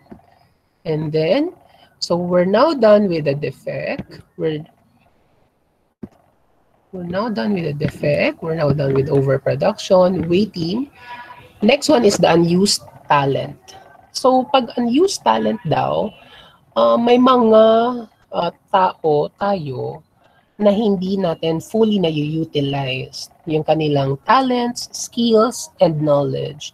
Ibig sabihin, may hinire tayo, hindi naman talaga natin nagagamit. So with that, uh, syempre, we have to identify those uh, employees na performing saka employees na non-performing. Syempre, kung non-performing yung employees, kung ikaw yung may-ari ng company, i-retain mo ba o hindi na?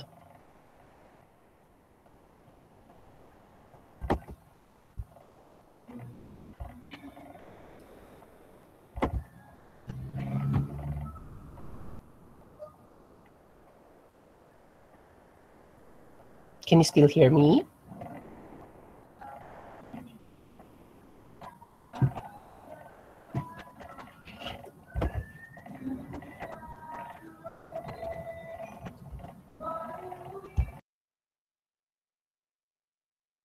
Can you still hear me, class? Yes, sir. Alright, okay. So, syempre yung mga um, employees na hindi naman talaga natin nagagamit, maybe uh, it is now time to let them go, di ba?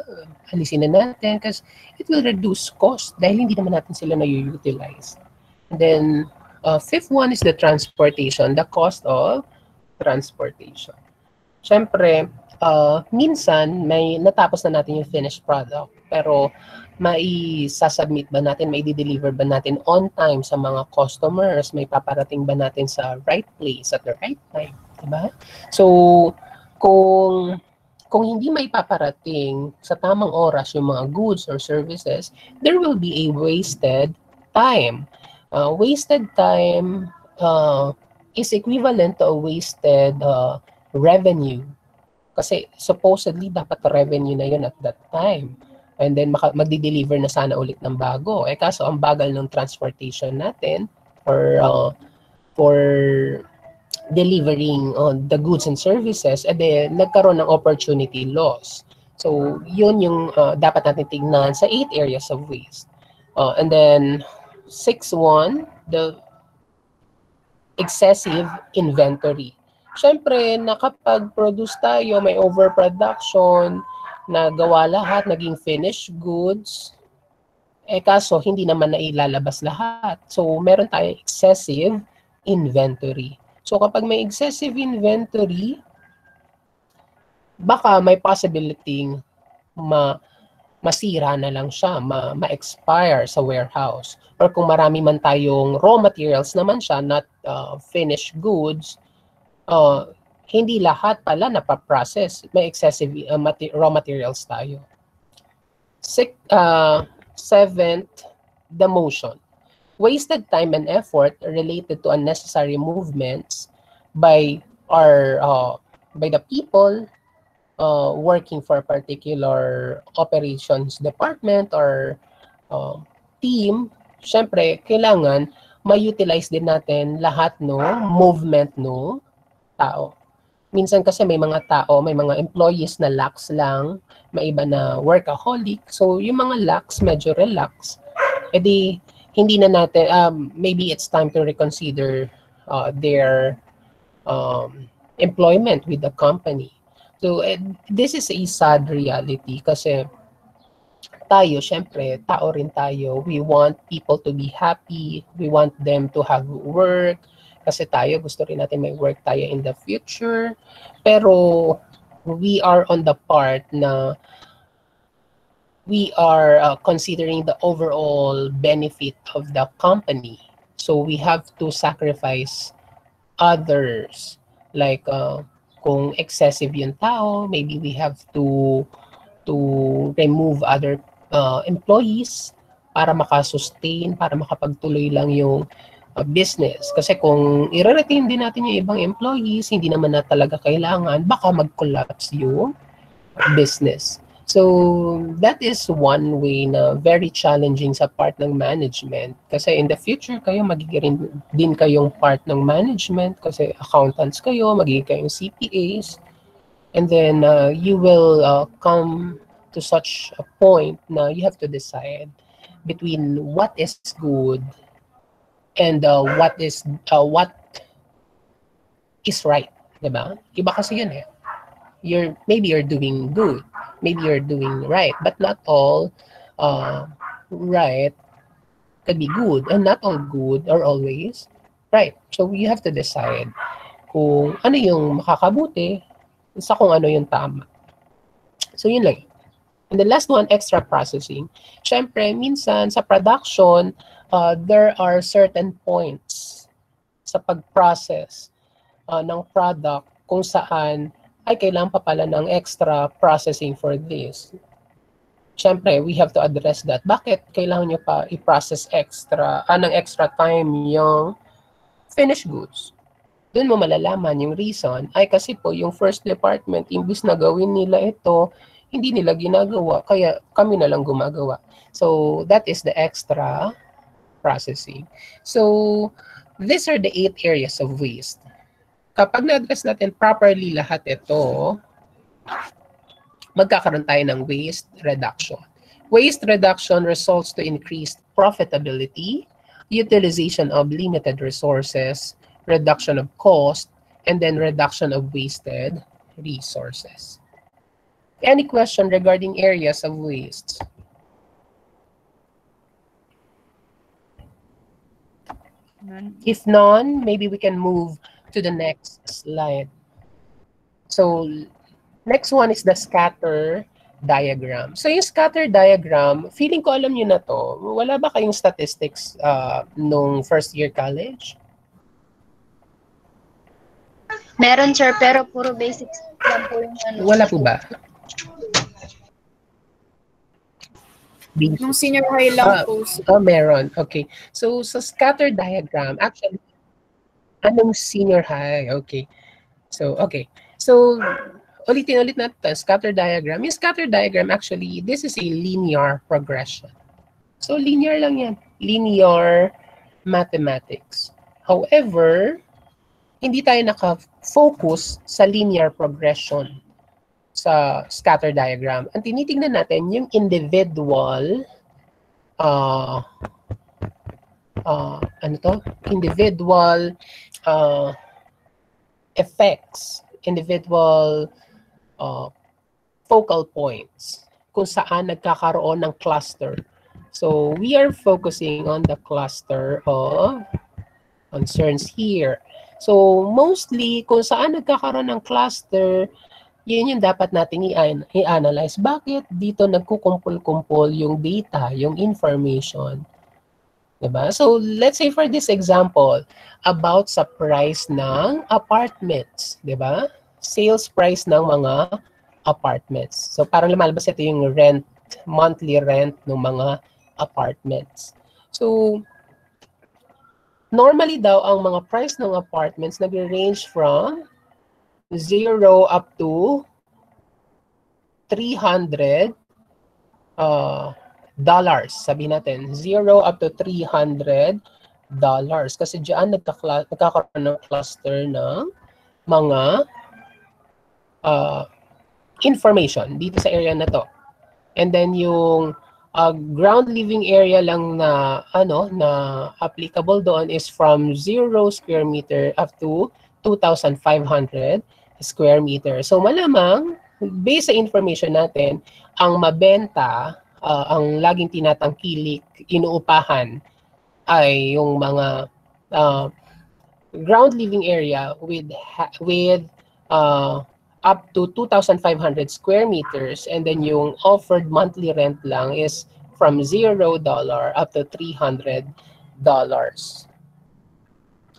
So kung kayo yung business, kapag nagpapaupa kayo ng 3,000 square meters up to 5,000 square meters or more, tapos ang offered uh, selling price nyo or monthly rent nyo is ranging from $400 up and above, hindi nyo mape-penetrate yung market. Kasi yung market nagka-cluster siya within this area. Nakukuha po ba? Nagigets po ba, class?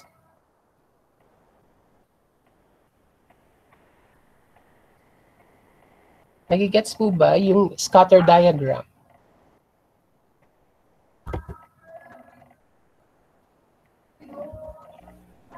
Yes, sir.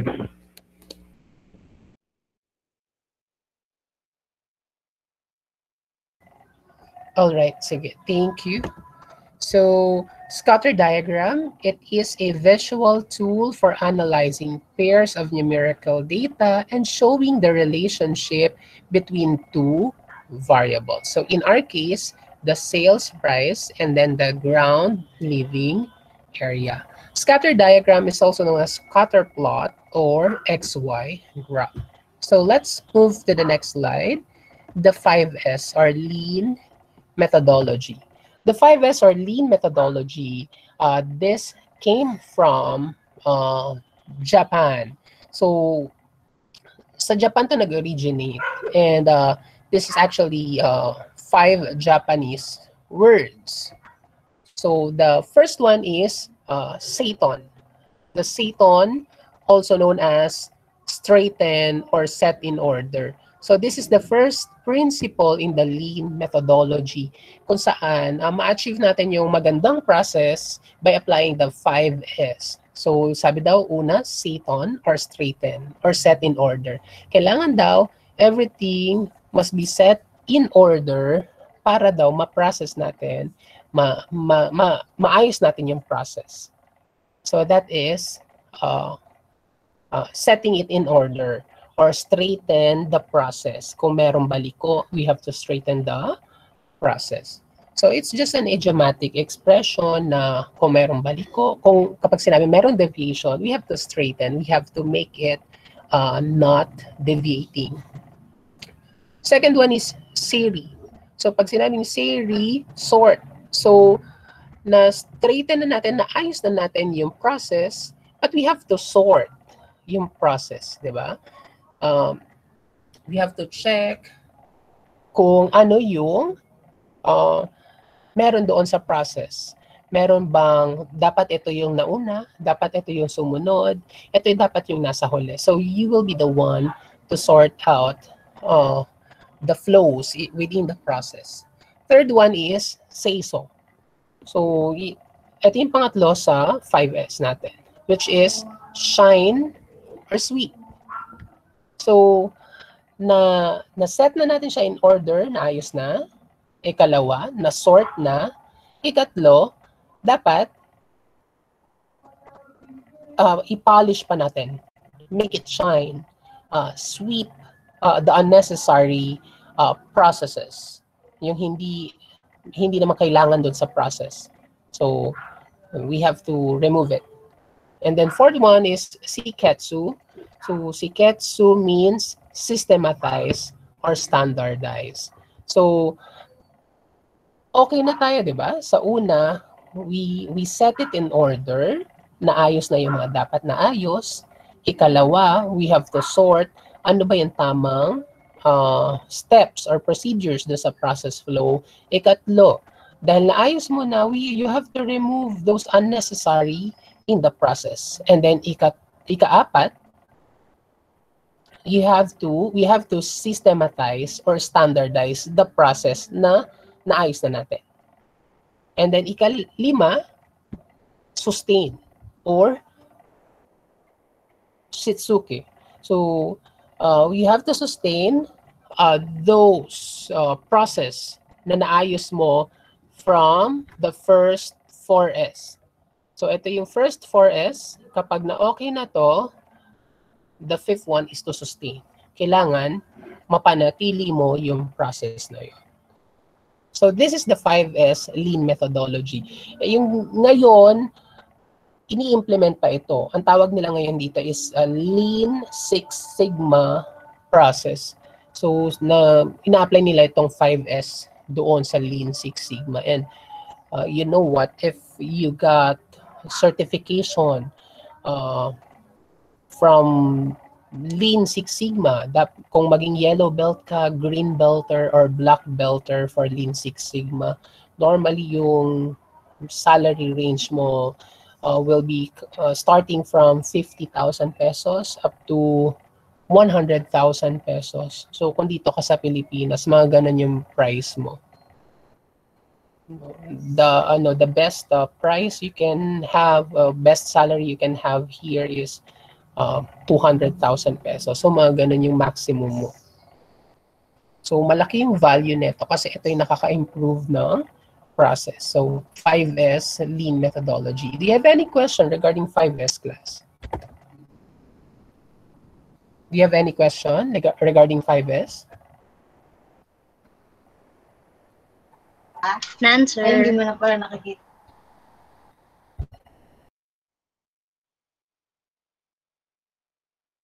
All right, so let uh, let's move to the next slide. Other auditing tools. So, all right. So, sa other auditing tools, we have what we call the RASI diagram. So, RASI diagram uh, came from the word uh, uh, from its word rasi, first one is are responsible, di ba? Responsible. we have to identify who is the key responsible for that process. So that is the first one, RASI, of the RASI. Responsible. Sino ba yung responsible for the process flow? Ikalawa, who is accountable? Diba? I'm sorry. Eh. Okay. Who is accountable? And then, third one is, sino yung dapat i-consult kapag, kapag merong problema sa process. So, na-identify na natin sino yung responsible for this process. Sino yung responsible for another process. So, na-identify na natin kung sino yung tao na yon. Ngayon, we have to identify sino yung accountable. Diba? For his responsibility. Kasi dapat siya-check niya yun. Diba? And then third one, kapag nagkaroon ng problema, sino yung dapat nating takbuhan? Sino yung dapat nating konsultahan? Bigyan ng, uh, hinga ng consultation. So, yun yung letter C, sarasi. And then last one, kapag may problema, sino yung dapat i-inform? Sino yung dapat i-inform?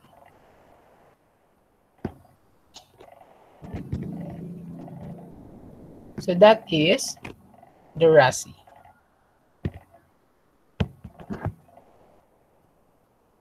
So we're now done with RASI.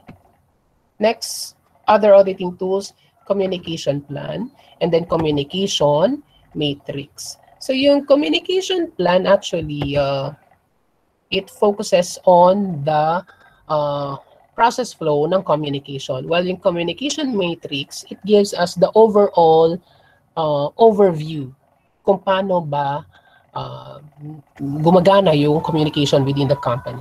And then, uh, fourth one is the input process output map. Ito mapag-aaralan nyo to sa uh, information technology nyo or infotech nyo.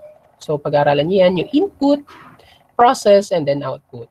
In every input, kapag prinoses mo, merong output. And then, sino yung mga suppliers ng input data And then, sino naman yung consumers ng output data? Uh, letter E, mistake proofing. So ito, it focuses on mistake, uh, kung may nakitang mistake, uh, how to correct it. Then uh, letter F, benchmarking. So ito, mapag-aralan nyo rito sa auditing theory, yung benchmarking techniques. Uh, uh, you have uh, this particular loss kung saan ito lang yung absorbable loss. Kapag lumagpas na dyan, we have to check bakit nag uh, bakit nagkaroon ng excessive loss. Uh, sino yung accountable for the excessive loss. So benchmarking tinatawag doon. And then letter G, the five whys. Uh, so tayo bilang auditor, hindi lang tayo na, nasa-satisfy sa unang why. Meron tayong series of whys, di ba? Kapag may, tinan- pag may tinanong kayo, you have to ask them why. Kapag nasagot nila, you have to ask them an, again, another why. So hindi kayo convinced with their answer. Why? Why? Third why? Fourth why? And then you come to the point that you will ask them for the fifth why.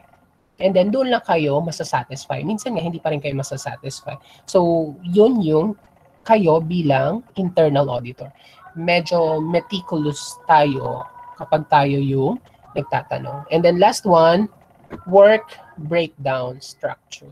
So, uh, check natin kung ano yung uh, breakdown or details no um, work structure within the company. Baka merong non-performing, baka merong overlapping uh, positions, overlapping tasks, na baka pwedeng iisa lang yung pwedeng mag-work for that.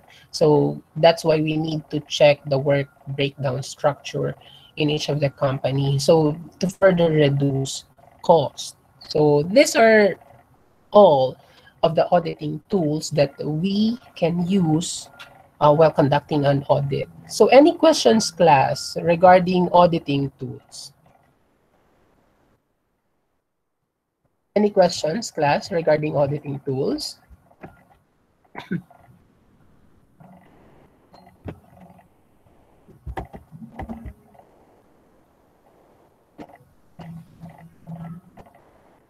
Any questions?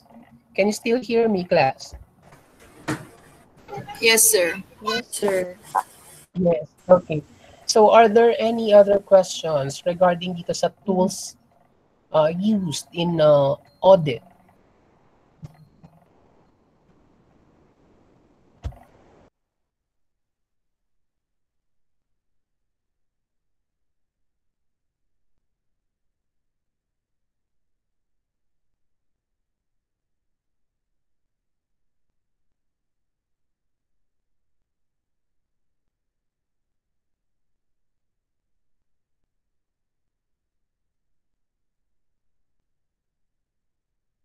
Wala na po bang questions, class? None po. None. Okay, so uh, maybe uh, I, we can now dismiss our class. Thank you so much for your time. And uh, see you again next meeting so we can discuss for the the other chapters. Thank you, sir. Thank you, sir. Thank you Thank you. so much Thank you, sir. and happy happy weekend. Thank you, sir. Thank you po. Salamat, sir. Goodbye, class. Class dismissed.